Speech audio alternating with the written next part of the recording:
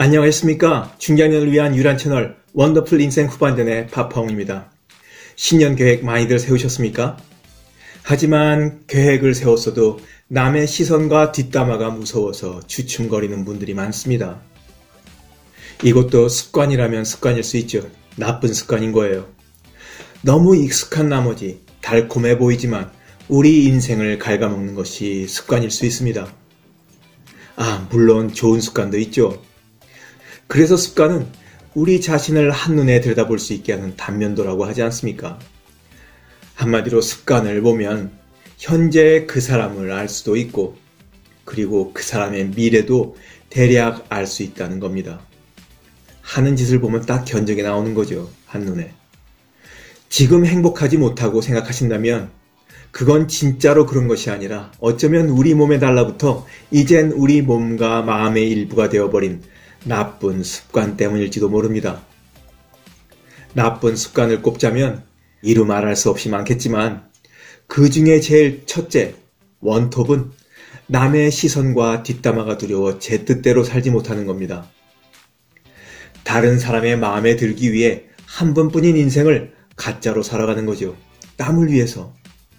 그래서 오늘은 우리로부터 행복을 빼앗아가는 이 무자비한 습관에 대해 이야기해 볼까 합니다.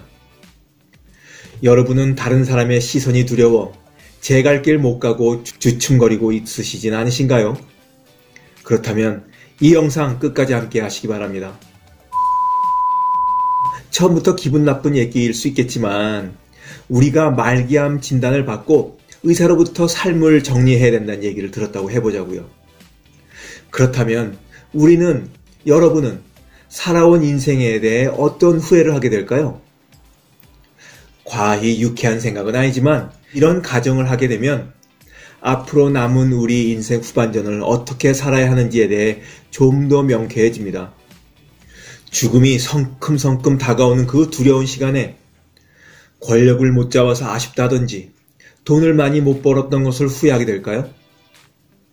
죽음을 앞두고 있는 말기암 환자들을 대상으로 한 조사에서 환자들이 공통적으로 가장 많이 후회하는 것은 바로 자신의 뜻대로 인생을 살지 못했다라는 겁니다.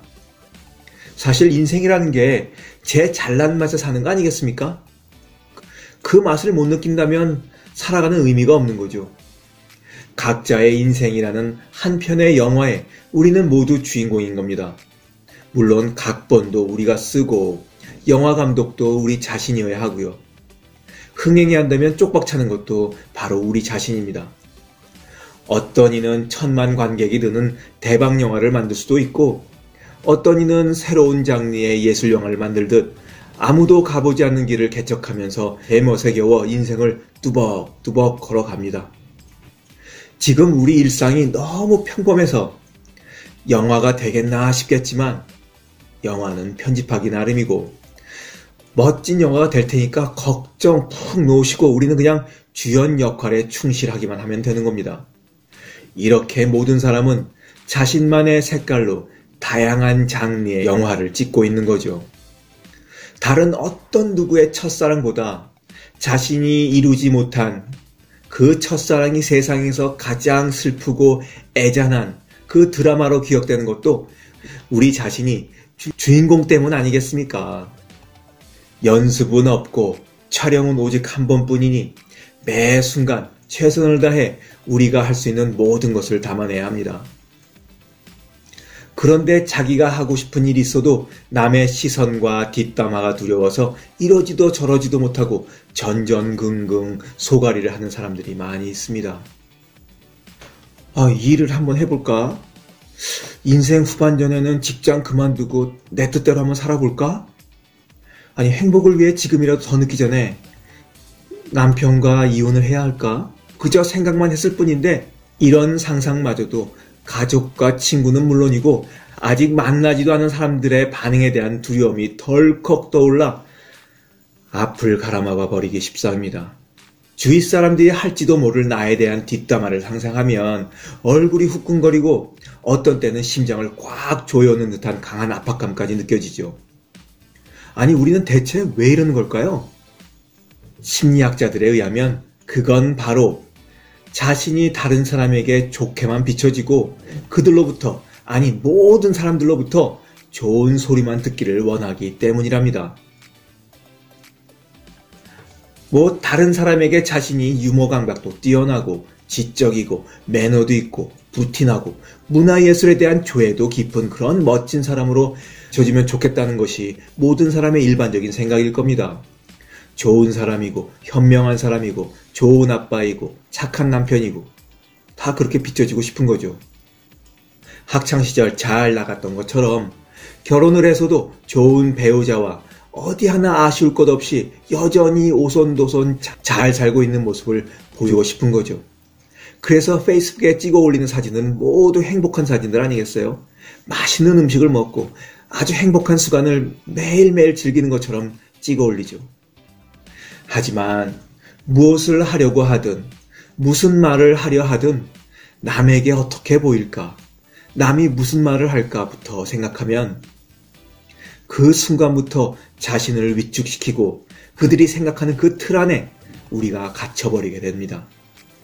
그들이 보고 싶어 하는 것, 하지만 내가 없는 것을 보여줘야 하니까 거품과 허위의식이 끼게 돼서 겉만 번드르르한 그 가짜 인생 또는 쇼윈도 부부로 살게 될 수도 있는 거죠. 그럼 이를 어떻게 극복하고 내가 하고 싶은 것들을 내가 원하는 말을 하면서 살 수 있을까요? 아주 간단하게 대답해 준 사람이 있습니다. 얼마 전 개그우먼 장도희 씨가 하는 강연을 들었는데 이미 널리 알려진 무대 경험도 많은 방송 경험도 많은 뭐 중견의 개그우먼이지만 이 사람도 무대에 올라설 때마다 많은 청중들에게 압도가 되는데요. 그것을 떨쳐내기 위해서 무대에 오르기 전 자기 자신에게 하는 말이 있다고 합니다. 야, 쟤네들 아무것도 아니야. 걱정하지 마. 쟤들 모두 족밥이야. 그렇습니다. 남의 시선, 남이 하는 뒷담화, 모두 아무것도 아닌 거예요. 그냥 족밥인 거예요. 제가 유튜브를 시작하자고 한 1년 전에 마음 먹었을 때, 제 영상에 대한 친구들의 반응과 시선, 그리고 제가 유튜브를 하는 이유에 대해서도 뒷담화가 몹시 두렵더라고요. 어, 쟤는 뭐 뉴질랜드 가서 뭐 공무원 하다더니 유튜브까지 해. 뭐 살기 어려운가? 응? 뭐 이런 얘기 하는 친구들도 있을 거고요. 하지만 저는 이렇게 제게 말했습니다.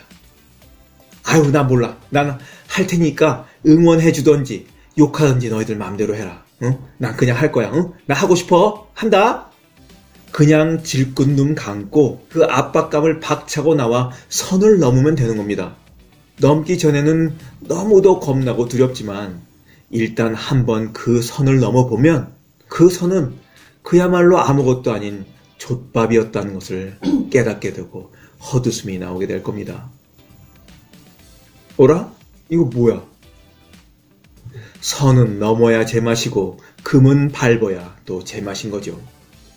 그 맛을 알게 되면 감옥을 탈옥한 죄수처럼 자유로움마저 느끼게 됩니다.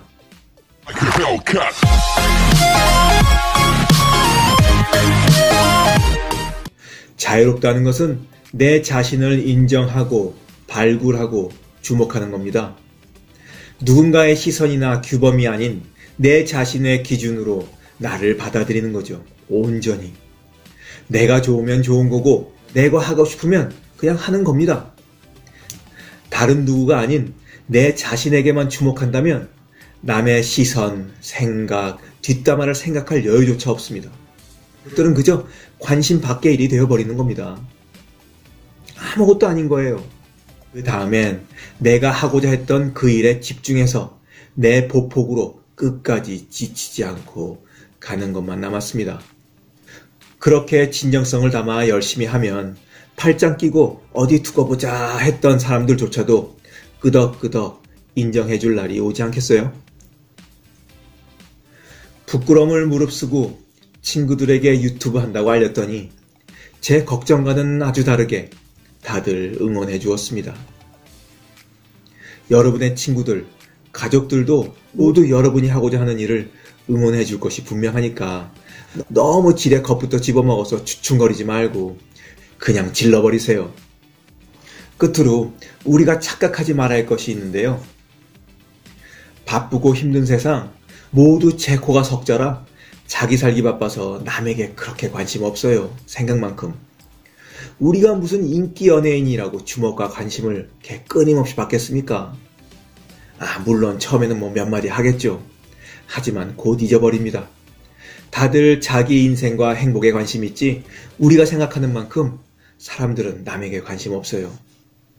그러니까 쓸데없는 걱정하지 말고 그 시간에 우리 자신에게 집중하고 그냥 고하면 되는 겁니다.